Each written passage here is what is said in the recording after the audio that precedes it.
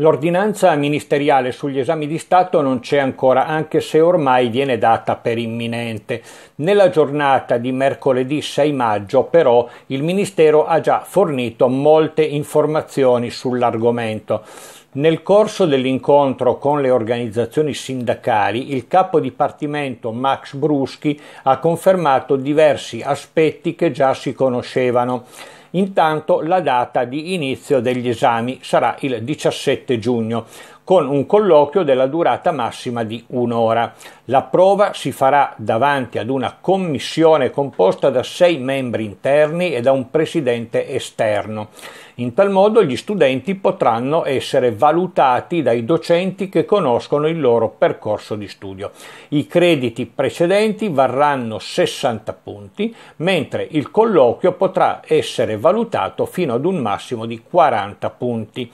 Max Bruschi ha però fornito una novità importante annunciando che il cosiddetto documento del 15 maggio, che deve essere messo a punto dai consigli di classe, potrà essere definito e approvato anche più avanti, ma comunque entro il giorno 30.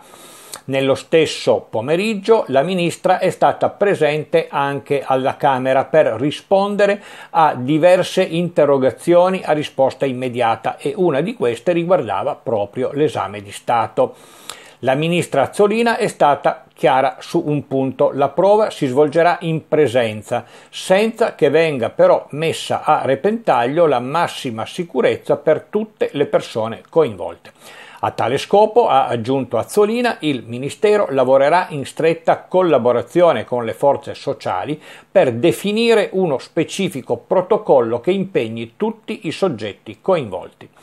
L'esame, ha detto ancora la Ministra, sarà così articolato discussione di un elaborato concernente le discipline di indirizzo, discussione di un breve testo già oggetto di studio nell'ambito dell'insegnamento di lingua e letteratura italiana durante il quinto anno, analisi da parte del candidato del materiale scelto dalla Commissione.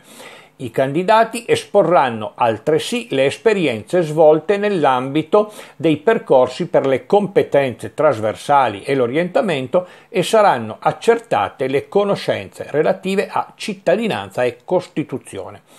Lucia Azzolina non ha escluso a priori che le prove si possano svolgere anche a distanza, come in molti, associazioni, movimenti, singole scuole, ma anche sindacati, stanno chiedendo da parecchi giorni.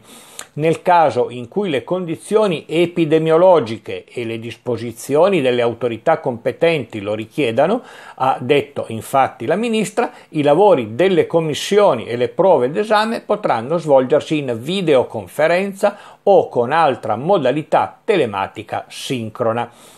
Restano ancora da chiarire alcuni particolari, tra cui le modalità di partecipazione all'esame dei candidati privatisti, particolari che conosceremo a breve non appena verrà emanata l'ordinanza. Tra questi ce n'è un altro molto importante. Sembra che il Ministero sia orientato a porre dei vincoli sulla ammissione all'esame di Stato. Potrebbero cioè non essere ammessi gli studenti che hanno cumulato un numero eccessivo di assenze fino al momento della sospensione delle attività didattiche in presenza. Il quadro sulla conclusione dell'anno scolastico sarà completo quando conosceremo anche i contenuti degli altri due provvedimenti in arrivo, quello sull'esame di Stato del primo ciclo e l'altro sulla valutazione conclusiva per tutte le classi intermedie. Ovviamente su questo noi continueremo a tenervi informati, soprattutto seguiremo l'emanazione della ordinanza, anzi delle ordinanze che tutti stanno aspettando, quindi continuate a seguirci su questo canale ma anche sul nostro portale www.tecnicadellascuola.it. Continuate a scriverci, a leggere, a commentare e a mandarci le vostre osservazioni. Noi eh, continueremo a darne conto come sempre.